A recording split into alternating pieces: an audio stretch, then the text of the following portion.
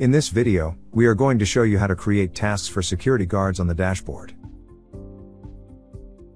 Tasks let you assign small tasks to the guards assigned to a specific post site that need to be completed within a defined time frame on the client site. Tasks are post site specific and need to be created for every post site separately. The guards assigned to the post site can be assigned the task. The guards can access and confirm task completion on the Guards Pro mobile app. Within Guards Pro, it is easy to create tasks for your security guards in a few simple steps. Click on the Clients tab on the main menu and select the Post Sites option from the drop-down.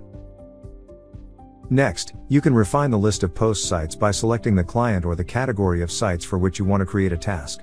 Now, click on the post site where you want to create a task. On the Tasks tab, simply click on New Task to create a new task for the post site.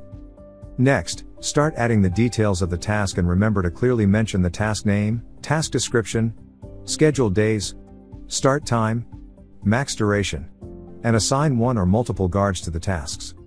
Once you have added all the required details, click Submit to save the task. If you have any more questions, please feel free to contact our support team anytime.